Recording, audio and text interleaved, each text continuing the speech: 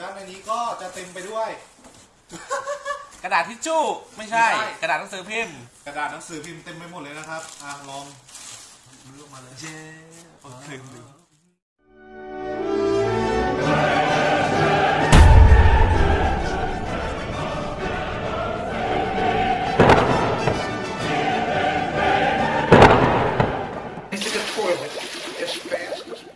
สวัสดีครับ พวกเราทอยเลยครับผมวิวครับ ตินครับผม วันนี้เรามีเรื่องราวมานำเสนออีกแล้ว ท่านยังจำได้ไหมที่ที่พวกเราเอาแบคคิโอซอรัสมารีวิว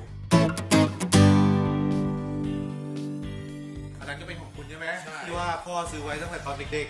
ๆ แล้วก็มีตอนที่ผมบอกว่า ผมก็ไปหามาอืมหาคนเจอโคตรพยายามหาหาจนเจออะเราก็สั่งมาแล้ว แต่ผมต้องบอกก่อนครับว่า ไอ้เจ้าที่ผมหามาเนี่ยครับหามาได้เนี่ยมันเป็นลักษณะของการ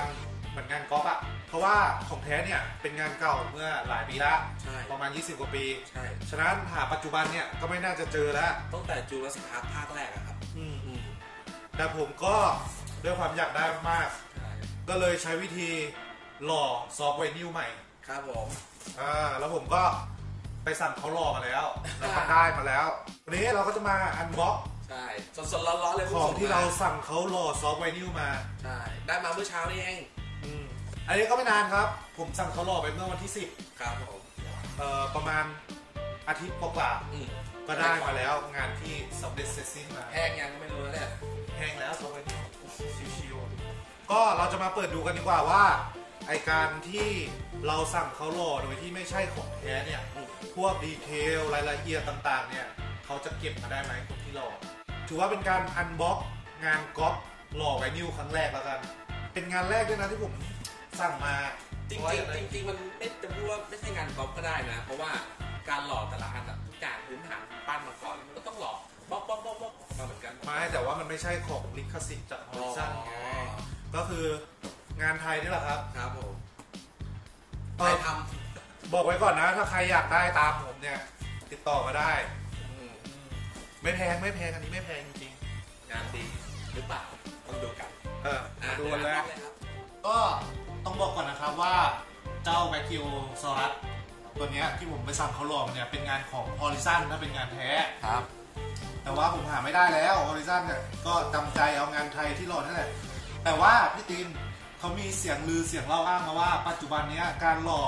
พวกโมเดลจำพวก soft vinyl ครับเรซินของคนไทยเนี่ยปัจจุบันก็ การเก็บรายละเอียดเนี่ยก็ไม่แพ้ ต่างชาติเท่าไหร่เออมาดูกันเลยเป็นยังไงดีวะเนี่ยตื่นเต้นเหมือนกันนี่แหละอยากดูผลงานกันนะ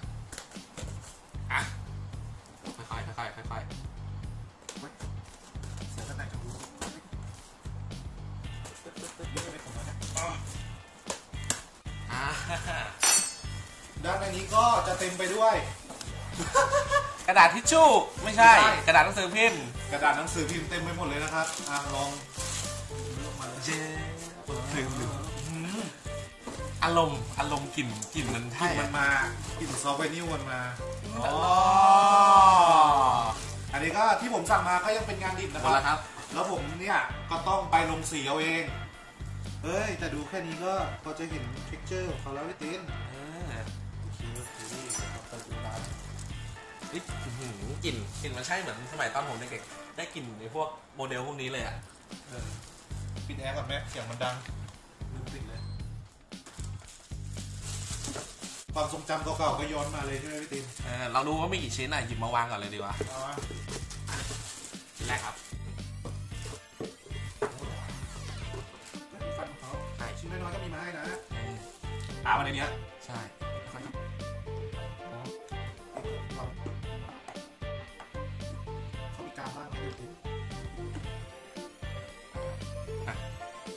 รบ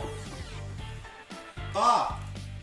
หลังจากสั่งรอมาแล้ว เขาก็ไปแยกเป็นชิ้นรอรอรอรอมาให้ ก็จะมี 1 2 3 4 5 6 7 8 9 10 11 12 12 ชิ้นนะครับ อันนี้น่าจะเป็นส่วนปากล่างพี่ติ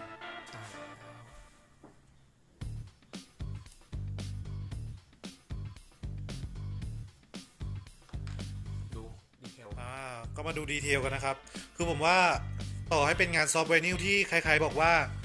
เวลาลอกมาแล้วเนี่ย detail มันจะไม่คมนะพี่ตินเนี่ยคลิปเลยเนี่ยเองานอดีมากแต่พอออกมาแล้วก็โอเคครับ อันนี้เป็นส่วนหางหลัง ดู texture ของแบบพื้นผิวเขาดิอย่างที่ผมบอกอะเหมือนตอนที่แล้วก็เหมือนกันว่าไอ้เจ้าผิวของ Brachiosaurus เนี่ย ก็จะเหมือนสัตว์ใหญ่ในไทยอย่างเช่นพวกช้างอะไรพวกเนี้ยพี่ตีน ใช่ครับลักษณะตัวเขาอันนี้ปลายหางนะครับ คือทุกส่วนที่ผมพยายามดูอยู่เนี่ยจะก็จะดูว่ามันมี texture หรือเปล่าอืม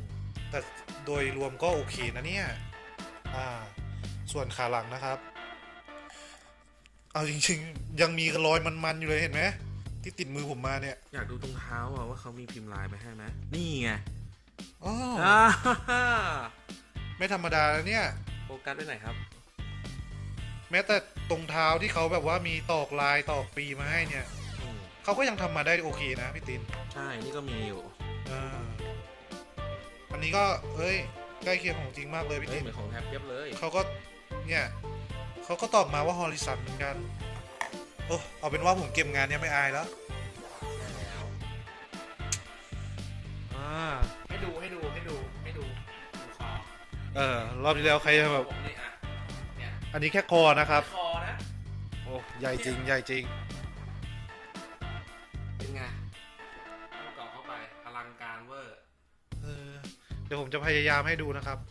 ตรงท้อง เออ ตรงท้องตรงนี้ ถ้าเป็นของพี่ตินน่ะจำได้ไหมมันจะมีรอยปูดทะลุลงไปเลย ใช่ครับ เออ แต่อันนี้เขาก็อย่างว่านะการหล่อใกล้เคียงครับ เพราะว่า ของงานของพี่ตินเนี่ย ผมเห็นว่ามันมีรอยทะลุลงไปเลย แต่อันนี้เขาก็ยังมีแบบว่าหล่อ texture มาให้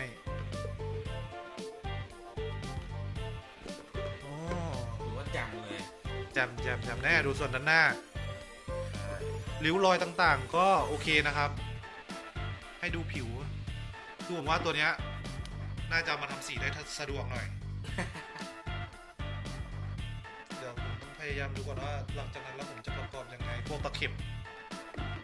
ต้องตัดเฉือนคือ ก่อนเออ เฉือนแหลก ก็อย่างว่าตามสไตล์งานอืมซอฟต์ไวนิวไม่ ปีเก่าใช่ครับเป็นอย่างนี้หมด ๆ ปัจจุบันเนี้ยถ้าเป็นซอฟต์ไวนิวปีใหม่เนี่ยพี่ติน เขาก็จะใช้วิธีเอ่อพวกเนี้ยไม่น่าจะมีละ ใช้วิธีแบบต้มไดร์เป่าผมแล้วก็เสียบได้เลยเมื่อก่อนต้ม เออ แต่เมื่อก่อนเขาใช้วิธีต้มมาครับ สวยครับ งานดีแล้วบอกว่าราคาไม่แพง อืมไม่แพงโอ้ชอบอะชอบอะใช่ ก็น่าจะเป็นคราบน้ำมันจากการหล่ออะพี่ตินในพิมพ์ให้มันไม่ติดพิมพ์ไง คือ ใหม่ๆสดๆเลยเนี่ยหลังจากหล่อเสร็จก็น่าจะส่งมาให้เราเลยอะงานคนไทยด้วยนะ บอกแล้วไทยทำไทยใช้ไทยรุ่งเรืองรวมแล้วก็ถือว่างานดีเลยแหละจำเลย ใช่เพราะว่ามันเก็บ เก็บ texture เก็บพื้นผิวของโมเดลเนี่ยมาได้โอเคครับ ดูหน้าเขาก่อนดูหน้าเขาก่อนนี่ผมคิดว่าตัวนี้ผมน่าจะทำงานได้ง่ายขึ้นกว่าของพี่ตินของของ ผมเป็นตัวครูไงดูดีดูดีดูดีดูดูดูดูสำหรับงานไทยนะ ผมว่าโอเคเลยแหละอืมแต่ก็อย่างว่ามันเป็นงานดิบอะครับ ก็จะมีรอยเปื้อนพวกคราบน้ำมันอะไรพวกนี้มาหน่อย แต่ว่าโดยพื้นฐานแล้วพวกผิวหนังของไดโนเสาร์เนี่ยเขาเก็บมาได้โอเคเลยแหละ สวยเลยครับ ไม่แพ้งานก่อนเลยอืมเห็นไหมเห็นรายละเอียดปะนี่ ชัดๆเลยสวยนะผมว่าผมดูดิก็อย่างที่บอกครับ ถ้าใครสนใจก็ คอมเมนต์มา คอมเมนต์มา แล้วเดี๋ยวจะบอกให้ว่าไปเอามาจากไหนอะไรยังไง คือถ้าเราบอกตรงนี้มันเหมือนสนับสนุนของก๊อฟอะแต่จริง ๆ แล้วอะถ้ากฎหมายละเมิดลิขสิทธิ์จริง ๆ แล้วเขาก็ให้อายุแค่ 20 ปีใช่ไหมพี่เจมไอ ตัวเนี้ยมันมากกว่า 25 ปีแล้วแหละ เกินแล้วมันเกินแล้ว เออ ยังมีคราบน้ำมันอยู่เลย ใช่น้ำมันหรือเนาะเนี่ยดูดิทำอะไรคุณเปล่า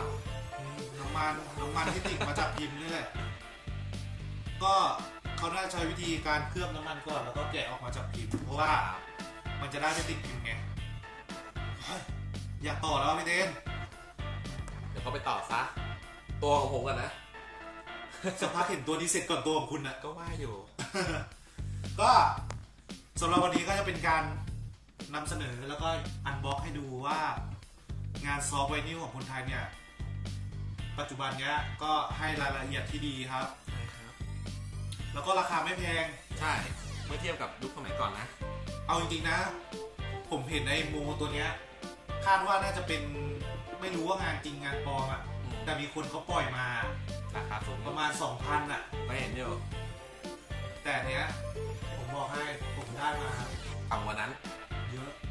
หันไปครึ่งนึงใช่หันราคาไปครึ่งนึงเลยอะแต่ก็คิดมุมหนึงก็คือเขาอาจค่าประกอบทำสีเขาด้วยอะเนาะใช่ค่าเสียเวลาเขาอะค่าฟิล์มใช่คิดว่าให้ค่าให้ฝีค่ามืฝีอมือเขาดีกว่า เพราะว่าเท่าที่ผมเห็นเนี่ยงานเท่าเนี้ยสวยเขางานทำสวยเลยก็เป็นว่าวันนี้มารีวิวแค่นี้แล้วกันคครัรับบผม อย่างที่บอก ปัจจุบันเนี้ยงานหล่อซอฟต์แวร์นี้ของไทยอืม ไม่แพ้เลย ไม่แพ้จริง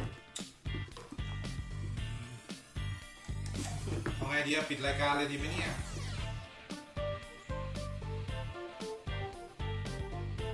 จากดีครับสวยยังไงฝากกดไลค์กด subscribe เราด้วยใช่ครับแล้วกัน ก็จะพยายามนำของเล่นพวกเนี้ยมาฝากกัน คือพ วกเราเป็นเด็กมีปมครับ ใช่เด็กๆ อยากจะมีแต่ยังไม่ได้ใช่ด้วยทุนทรัพย์ที่ไม่พอด้วยอะไรใช่เงี้ยเราก็เลยซื้อความฝันของตัวเองณตอนนี้ พูดเลยว่าอดีตซื้อได้ด้วยเงิน ใครบอกว่าย้อนเวลาไม่ได้นะ เงินย้อนเวลาได้เว้ย ตอนเด็กไม่มีเว้ย ตอนนี้มีแล้ว เออ อะ แล้วกลับมาพบกับพวกผมใหม่ครับ ที่ช่อง The The Toilet Toilet ครับ วันนี้ลาไปก่อนแล้วกัน